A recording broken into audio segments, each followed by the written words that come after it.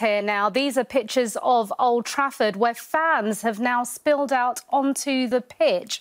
That's what you're seeing there on your screens. Um, Manchester United fans angered by the European Super League plans, calling for the Glazer family uh, to uh, be removed as owners, calling for them to go, momentum building up against them. That's what you're seeing there. Manchester United fans are now on the pitch at Old Trafford. They were protesting earlier outside the team's hotel, which is also highly unusual, uh, protesting outside the Lowry. Now they have stepped out onto the pitch.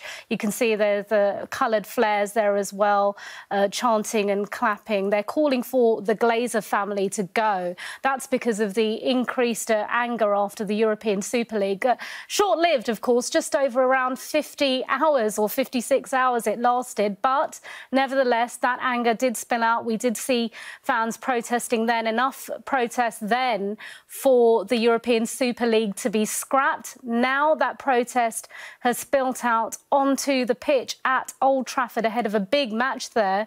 Um, at 4.30, the kickoff between Man United and Liverpool, an important Premier League match of